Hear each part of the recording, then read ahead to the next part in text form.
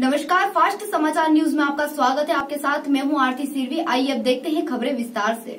ग्वालियर में आपसी पारिवारिक विवाद के चलते पति ने पत्नी को मायके में ही आपसी विवाद के चलते गोली मार दी जिसके बाद से आरोपी पति और उसके साथ आए लोग फरार हो गए। महिला को गंभीर हालत में अस्पताल में भर्ती कराया गया जहाँ इलाज चल रहा है। मौके पर पुलिस ने पहुंचकर छानबीन शुरू कर दी। मेरी भतीजी है पूनम राठौर। किस वजह से गोली मारी और कितने गोली इन लोगों को दो साल पहले भी एक झगड़ा हुआ था, पहले दहेज एक्ट भी लगवाया था, केस चला था। वो फिर दतिया में ही कोर्ट में राजीनामा हो गया हमारे भाइयों ने बिटिया को भेज दिया था, दो साल से खूब अच्छे रह रहे थे। एक चार साल की बेटी भी है।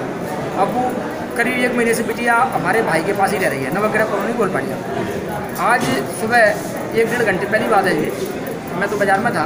लेकिन बच्चे, बच्चों ने फ़ोन लगाया, बोले कि अरविंद और उसके ससुर लक्ष्मी नारायण और वो उनका जो है बेनू और क्या नाम है उसका देवर।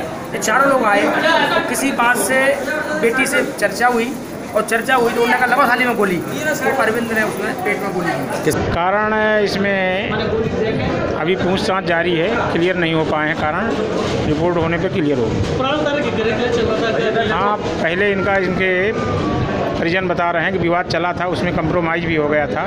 20-25 दिन पहले भी अपने ससुराल से मायके आई है।